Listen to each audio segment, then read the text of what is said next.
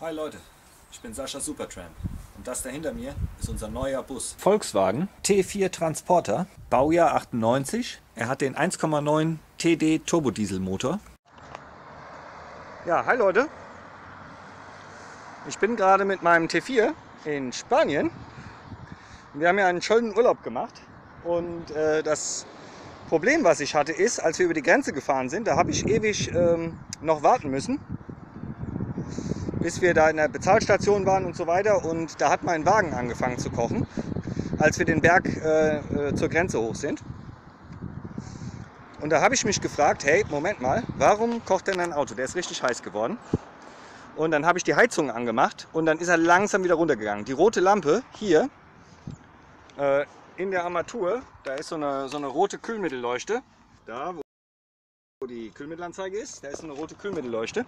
Und die hat die ganze Zeit geblinkt. Und dann habe ich die Heizung angemacht und habe ich den, weil ich den auch nicht ausmachen wollte, den Wagen, da habe ich den, glaube ich, gerade noch mal gerettet. Ansonsten wäre der Kühler kaputt gegangen.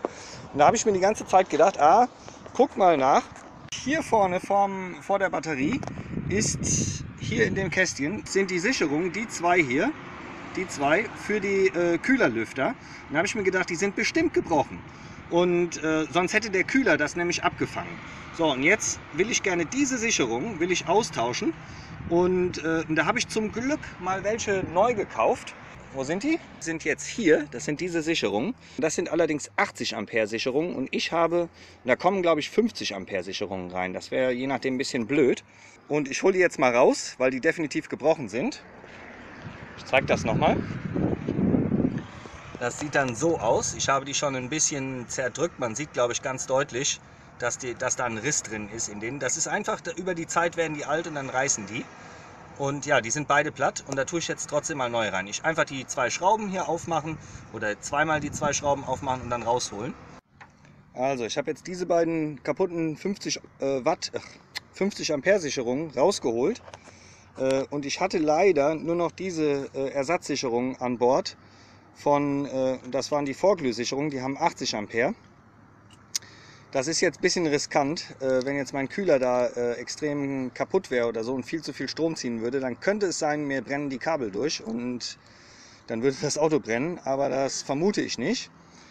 Und äh, mir ist jetzt lieber, ich habe hab da Saft auf den äh, Kühlerlüftern, weil das hier sind Brüche, die über die Zeit kommen. Man sollte also bei, bei Gelegenheit, am besten vor so einer Reise, sollte man sich das angucken, äh, gerade wenn es in heiße Gegenden geht und das einfach mal checken, wie die Sicherungen aussehen, die zur Not mal rausholen und dann, ich habe zwar 50 äh, Ampere Sicherung da, äh, und zwar die beim Polo von der Servolenkung, äh, von der Servopumpe, die, das waren auch 50 Ampere Streifensicherungen, so heißen die.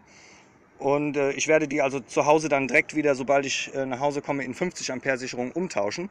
Aber jetzt zur Not muss es eben mal die 80 Ampere Sicherung tun, damit ich, falls der Wagen heiß wird, damit dann die Kühlerlüfter anspringen können, damit mir der Wagen nicht überkocht. So, das wollte ich eben nur mal kurz zeigen.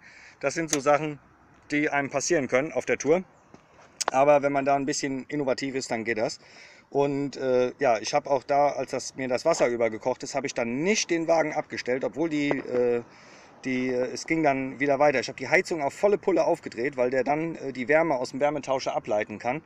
Und äh, der Wagen wurde dann auch wieder kühl, weil ich dann auch ein bisschen fahren konnte. Und ja, so ist das jetzt. So, ich habe jetzt hier die Sicherungen ausgetauscht. Das sind jetzt 80 Ampere Sicherungen rein. Empfehle ich keinem, das so zu machen. Aber ich mache das jetzt der aus, wirklich aus der Not raus, weil ich, äh, wenn der Wagen zu heiß wird und wir sind hier in Spanien, hier sind es 40 Grad, äh, da will ich lieber äh, haben, dass der, dass der Kühler auf jeden Fall laufen kann, weil wenn die Sicherungen kaputt sind, kann der eben nicht laufen. Ne? Und deswegen ist mein Wagen auch heiß geworden. Und ja, dann nehme ich jetzt lieber das Risiko der falschen Sicherungen in Kauf und wechsle die sofort, wenn ich zu Hause bin, wieder aus und tue dann da 50 Ampere Sicherung rein, die habe ich noch da. Gut, alles klar, macht's gut, bis dann, tschüss. Wenn es euch gefallen hat, abonniert den Kanal. Gute, tschö.